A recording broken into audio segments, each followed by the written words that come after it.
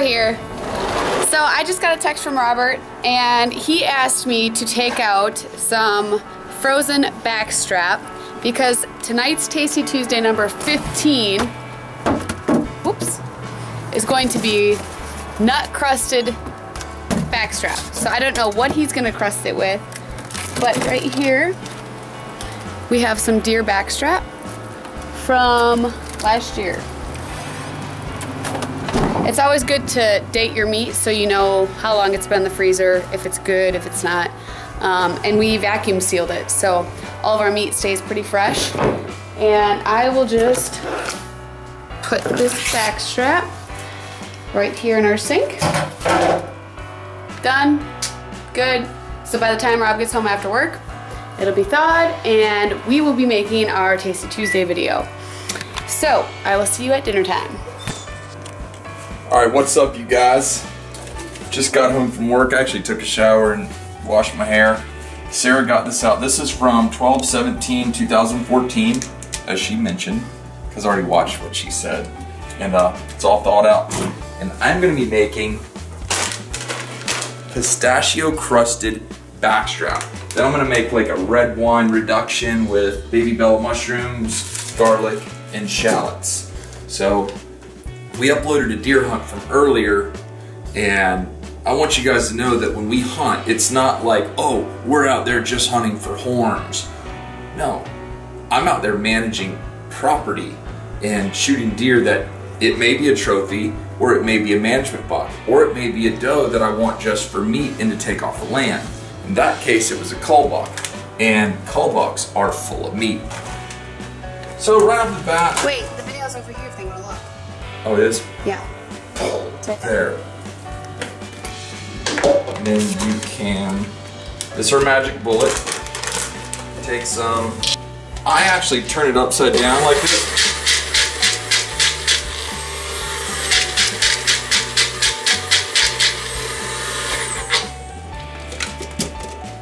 Okay, so we've got our panko breadcrumbs in a bag. And then I will take our pistachios, put them into the same bag.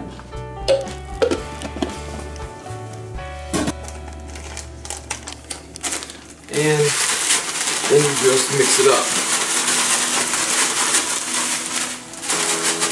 And what you're left with is a nice mixture of panko breadcrumbs and pistachios. So I can throw that away, put this up. All right, you guys. So Sarah's been talking to a bunch of different people lately, and one of them is Seth McGinn. He owns Can Cooker. I've grown up eating food out of a pressure cooker. Sarah grew up eating food. Her mom loves to use slow cookers. So we looked at the can cooker, and she just called him out blue. And he sent us a couple things. One of these is the plank foldable cutting board, which is pretty darn cool. Um, I think it, yeah, folds up just like that. There you go. Unfold it and lay it down here. It's very easy to keep clean, I supposedly. Backstrap 2012, 17, 14. That's the day we put in the freezer. That's the day we put in the freezer.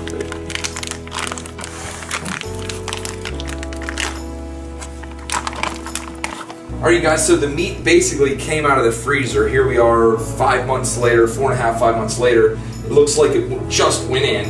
And we use the uh, Game Savers Titanium Edition. It's pretty big, but it does a darn good job. And I am going to start off, this is Everglades, this is cactus dust, but I just keep putting more of it into this bottle. Now we'll just season this meat up real quick.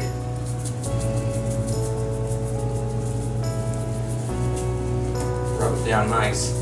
Now, I haven't even really started cooking yet because the first thing I want to do is I want to nut crust my meat. So you have this, roll these together, just get that season all impregnated into your meat nicely.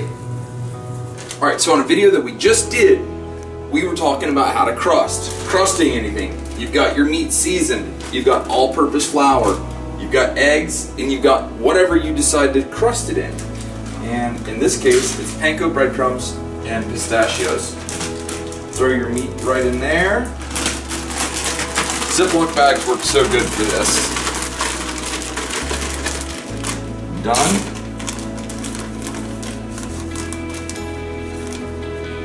I guarantee you I'm gonna have a lot of this left over for lunch tomorrow. You're only gonna crust one side, otherwise you're gonna have too powerful of a crust and it won't be that good. So it's gonna come in just like that. That's gonna be your glue, your bonding agent. Press it around, press it around. It's gonna come out crusted beautifully. Do the same thing again.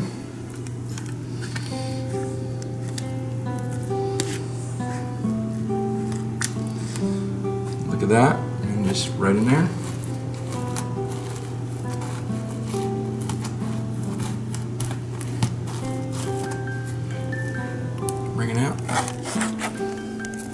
Now you want that to dry. This is taking no time.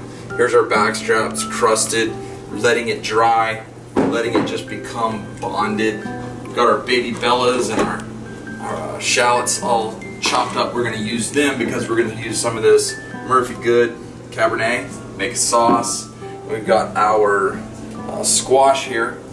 Squash we're gonna cook in the grill pan. I'll just douse it with some some olive oil like that. We're running low. Larry Limerick, yeah, let me know where you got this so I can get some more of it. Actually, well, probably got it at Cepay Groves. Season it up. It's in California. Yeah. Just let the season in the and the olive oil just roll all over. It's so good. That's good. We're gonna cook that in a grill pan. This cutting board, although it's foldable, it's really easy.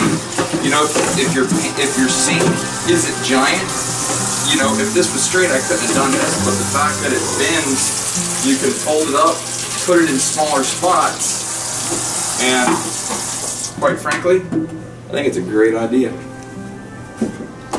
We'll cut our deer meat on that. We're about ready to start. This is one of my ceramic uh, pans. I love this thing. Although, if you guys have any suggestions, I want to get all new cookware. Uh, so if you have any suggestions of what I should go with, let me know. We finally made enough money to be able to buy all new cookware. Yep. Let that get going. We're going to put just a little bit of olive oil in there. I've got the oven preheating to 400 degrees. When I brown the meat, I'm going to pull it out, put it in the oven, and then I'm going to use the same pan that I cooked the meat in to make my sauce. Super easy, y'all, super easy.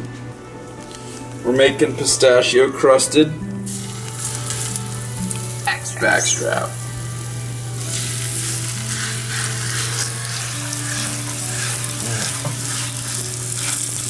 What am I talking about, y'all?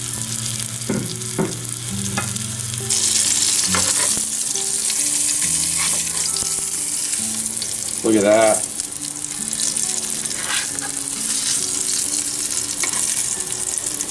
And we'll just let this cook very shortly.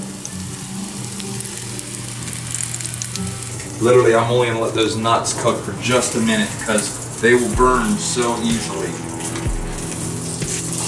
Look at that. Oh, you're right. See? I mean, that was literally maybe 40 seconds. So what I'm gonna do is, this is a pan that I have in the oven.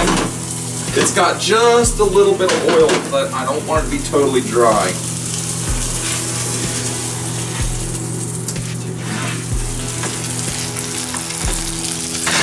Throw them in the oven. I'm gonna put those in the oven for about 10 minutes. 12 minutes. Okay? Now, a little bit of butter. Throw that in there. Our shallots. Throw the shallots in there. Throw the onion, the uh, baby bella mushrooms. Throw them in there.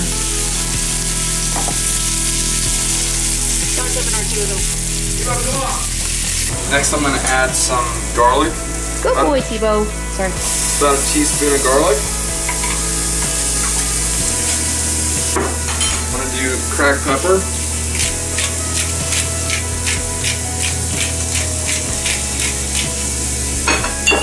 Original Everglades. This stuff is like a sauce made in heaven. This is all coming around, caramelizing nicely. Oh yeah.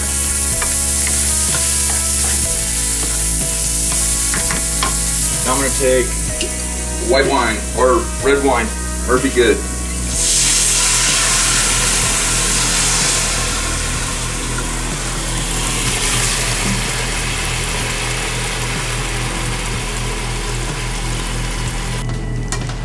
So we've got baby bellas, um, shallots, garlic, a little bit of butter, red wine. We're just gonna let this come on down, let this simmer. And we want it to reduce. Reduce means all the moisture is gonna come out, left with just, leaving you just that flavor. That flavor is gonna go on top of our venison. All right, time to get some squash.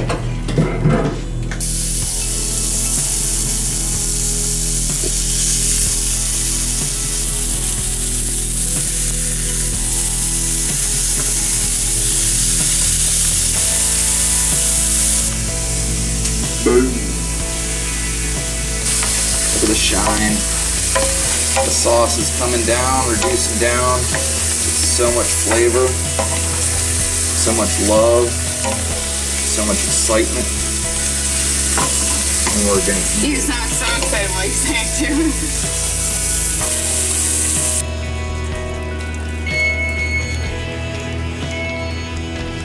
Alrighty, guys, we're looking for like that medium rare to medium temperature.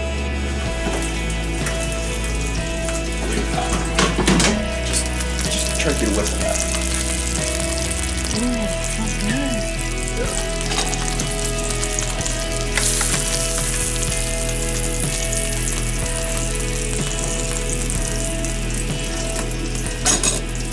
I've got to have a very sharp knife. This is our 8 inch silver stag fillet knife. And just let the knife cut. Look at that. Perfect. Just let the knife do the work. You're not sawing, just back and forth. Can you show me? Why don't I will in one second. Look at that. Hmm. Okay, so now people are gonna ask about the like blood looking stuff there. Can you explain that to them? That's the flavor from the meat.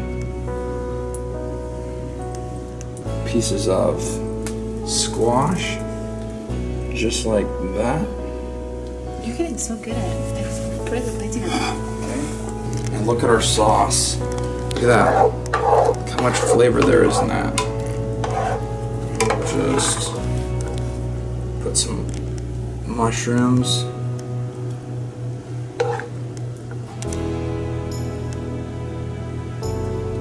And then we'll get some of the sauce.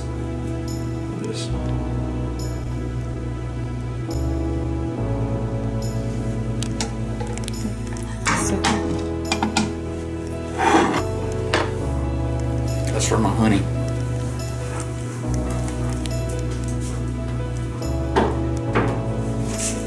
And as you can see, tonight is a Moscato instead of a milk kind of thing. Yep. Goes with the dish.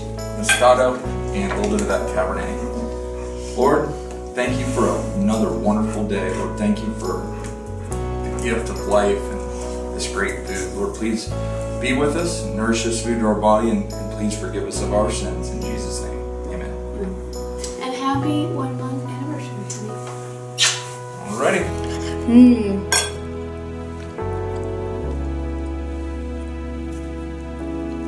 That's so good. Oh my goodness.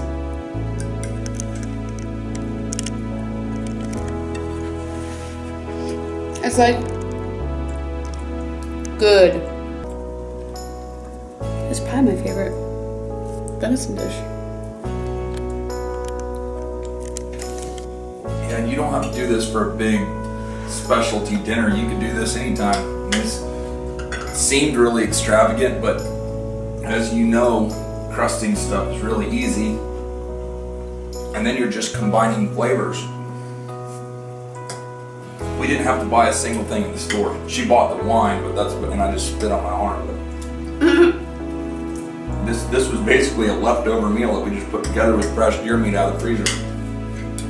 It's funny because the roles are kind of reversed because I harvested the deer and now he cooked it for me.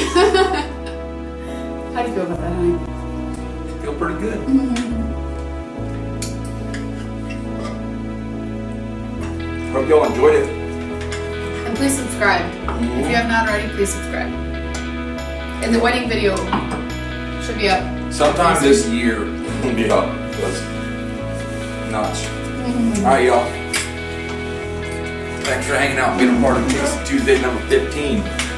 Oh wait, and if you do want to order a shirt, check out our website. It's www.deermeatfordinner.com. Subscribe now. Bang.